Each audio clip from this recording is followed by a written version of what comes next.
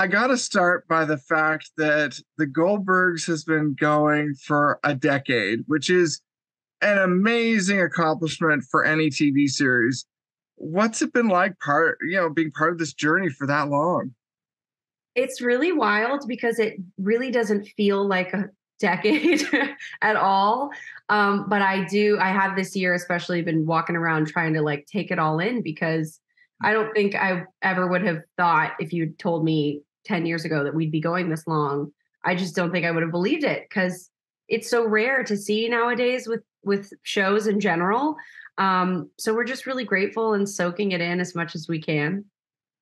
I I remember when the show premiered, uh, you and, and the other two young actors were in Toronto for this chat, and I remember sitting there going, "Wow, they are like there was so much energy to you three, and I mean this whole cast has been amazing.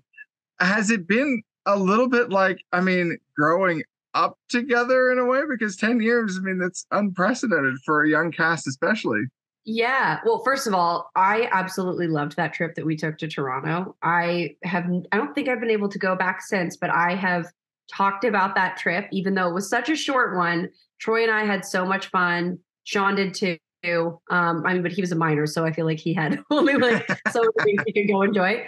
Um, but it that was such a fun trip. And it is like growing up together. I mean, for Sean, literally he started this when he was 12 or 13 years old and now he's 22 23 almost that um, troy and i were 19 and essentially it, our entire 20s was this show um, which is like amazing and at the same time a little bizarre because there's people not only the other cast but a lot of the crew has stayed since the beginning and so it is like a family um, and yeah it's i mean it's hard to describe like you just end up bonding with each other and you end up seeing each other sometimes more often than your family at home. So we're we're all very close and very appreciative that we have had this many years to be able to just hang out and laugh together. What do you think of Erica now playing her versus maybe when you started uh, as you're obviously she's changed a lot so what's what's your idea of her now yeah i mean i think it's really bizarre because I feel like I have grown up alongside Erica and and there's been a lot of things in her life that have paralleled my own mm-hmm. um that is you know I think that's just how they say what art imitates life or life imitates art I forget which direction it is but for me it kind of goes both ways and um I feel like I'm happy where Erica is headed I don't think that there's ever a point where she's now grown and mature, even as a new mom this season, um, that she's just learned it all. I think I know from my own experience that she still has so much more to to learn. Um, but I've been really enjoying seeing the last few years for her and and you know coming into her own. Hmm. Well, in terms of you know how you spend your time, you know obviously music takes up a big part of your life, and then you've got the show. So where does that balance come in? Do you are you sometimes working on music while you're working on the show? Do they kind of exist separately, or what is that like? That has been the hardest juggle of my life. Has been trying to give 150% to both because you just can't. Um, as much as I have fought for that to not be true, that is just the case. Um, and so I try to squeeze in music stuff whenever I can, but the minute that we get hiatus between seasons is when I go full force into music and um, just take up all the time that I have to be able to see, you know, if I can create songs, put new songs out, um, perform wherever I can. So it's very hard for the two to exist at the same time, but I love them both so much that I just try to find the time where I can. And whenever the time comes that the Goldbergs is like done officially, I think I'm going to try to focus at least a good two years on just making it work and giving music the same level of attention um, and energy that I've given the Goldbergs. Are you ever working through the show and get this idea for something, and then you've got to try and hold on to it so you can get to some paper or you know sit yes. down to write it down? Actually, yes, I try to keep my phone somewhat nearby without it being like distracting and on set in case uh, lightning strikes and I just need to write it down. Um, that does happen to me quite a bit, it, whether it's on set or driving in the car or, you know, just whenever it happens. So yeah, that's that's a big thing of mine. I know as well that you've taken inspiration from a lot of sources in terms of your musical style. Uh, what what are your biggest inspirations? What what today affects you the most in terms of sitting down to record? Oh, that's so hard because I I feel very influenced by so many different kinds of genres that um you know to some it may come off very confusing like how do you listen to all those things and how does that all come into play and that's been a difficult new journey for me in this process that I'm now writing an EP and trying to go back to my roots and combining those elements that I I grew up listening to as different as they are. So growing up it was really soulful vocal singers like Brian McKnight, Whitney Houston. I loved Celine Dion. Um, but then as I got into high school, it was more like indie singer songwriters. Like Sara Bareilles is one of my favorite songwriters of all time. And then I also just really love pop music. And I'm constantly listening to like new and upcoming pop artists and um, singer songwriters in general. Like one songwriter I'm obsessed with is JP Saxe. He just is so lyrically brilliant and his music sonically so simple, but um, I just love it. So it's like trying to find elements of each artist that I I love and trying to incorporate that into like who I am as an artist and telling my own story has been a journey. Um, but yeah, it's it's kind of a mixed bag. what do you like? Are, do you go out to a lot of music in LA? Like, what do you? What kind of shows are you seeing in LA? Um, I am trying to challenge myself this year to go to more shows because I think I'm really bad about missing when like, oh my gosh, you can't believe I didn't know they were in town. And so I use that Bandsintown app and website to be able to like follow artists. Yeah. And thankfully it connects to your Spotify. So if I'm not like searching for this one artist, it knows like, hey, you listen to this person a lot and they're coming in town.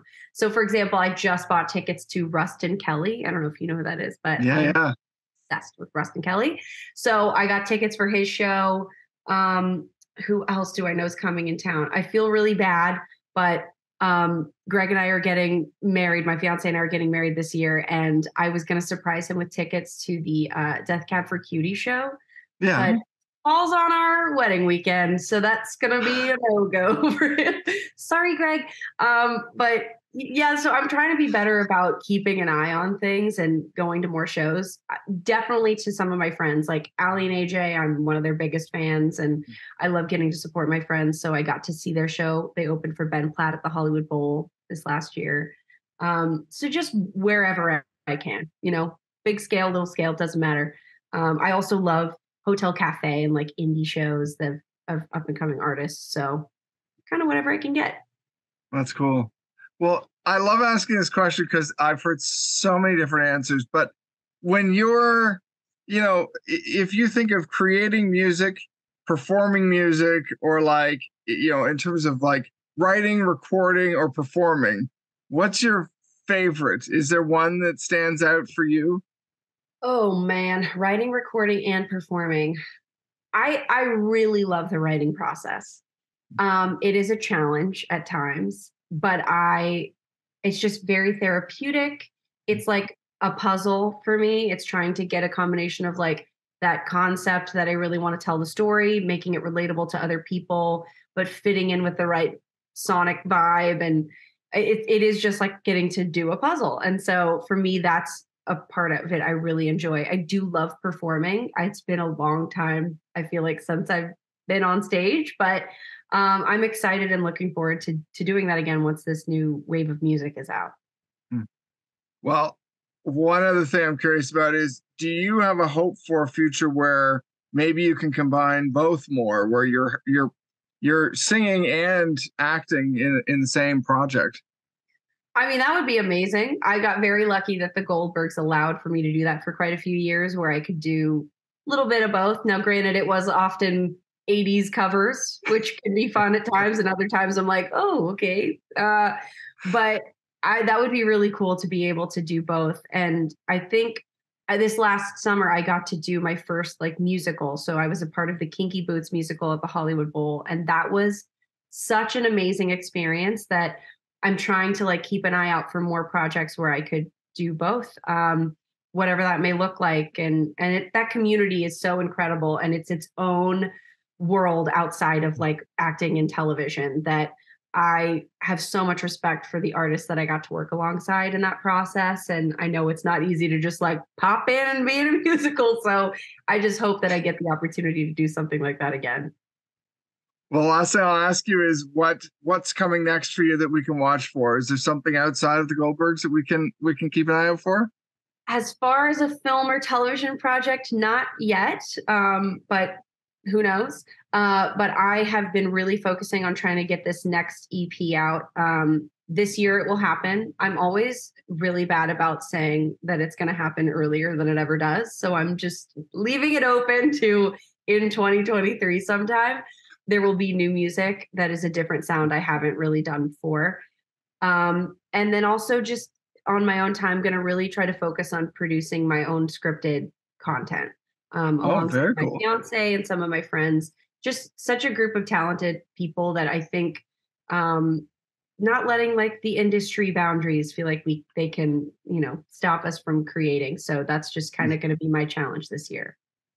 Well, I am going to ask you one last thing quickly. What, how does social media play into this for you? Do you do you find it helps? Is it? Uh, I can't remember. I, I, I, are you on TikTok too, or is it mainly Instagram, or what's your what's your angle? I am. So I started, I mean, I have a TikTok, Twitter, Facebook, Instagram, all that jazz. I focused for a long time a lot on Instagram and it just is soul sucking. And so I've kind of stopped uh, posting unless I just really have something I feel like posting.